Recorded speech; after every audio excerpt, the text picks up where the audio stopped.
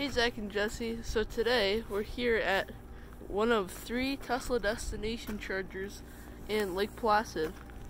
Um, it's a beautiful day today and there's gorgeous mountain views just around the corner over there.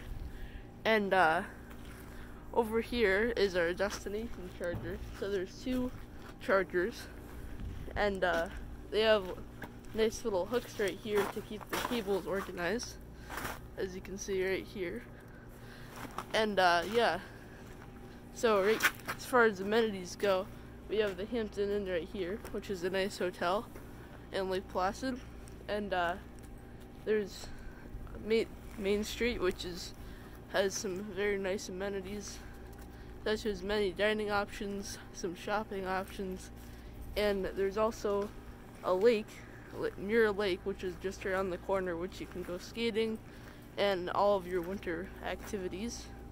And then there's also the 1932 and 1980 Winter Olympics, um, uh, Olympic speed skating oval over there. And uh, yeah, so yeah, overall we give this a 10 out of 10 because there's pretty much everything you could want. Um, and uh, for a destination charger. And uh, yeah, we'll see you later. Bye for now.